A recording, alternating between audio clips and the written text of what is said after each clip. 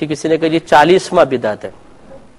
देखिए सबसे पहले तो चालीसवां है क्या ये समझिए।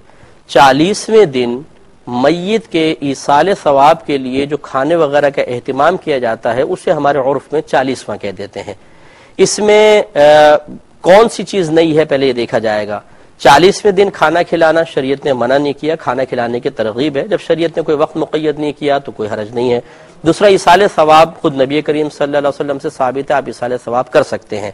बस अगर यहाँ पर बिदात ये चीज़ नज़र आ रही है नई चीज़ ये नज़र आ रही है कि जी चालीसवां दिन क्यों मखसूस कर लिया तो ये वक्त एक मखसूस करने से बिदत कैसे पैदा हो गई? यानी वो बिदत को जो गुमराही और गुमराही जहन्नम में ले जाएगी, मैं आपसे पूछता हूँ, हर मकतब फ़िक्र के दारूम में चले जाइए।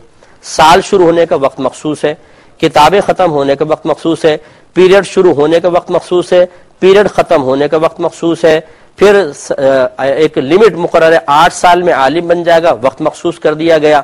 इसी तरीके से हर मस्जिद, किसी भी मकतब फ़िक्र की आप उसमें चले जाए, जमातों के औकात मखसूस कर दिए गए।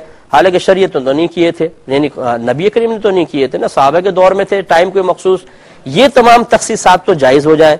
लेकिन चालीसवां और तीजे के अंदर अगर वक्त मखसूस कर लिया जाए तो ये बिदत कबीहा बन जाए, ये फ़र्क जरा वजाहत कर दी जाए तो फिर इंशाला देखेंगे कि चालीसवां तो चालीसवें दिन मुकर करने की बिना पर हराम और बिदत हो जाए और जमात का टाइम अपने पास से मखसूस करना और अपने दारूम के अंदर एक मखसूस वक्त में किताबें शुरू करना, खत्म करना बिल्कुल जायज़ हो जाए, ये फ़र्क कोई वजाहत कर दे तो इनशाला फिर मानेंगे।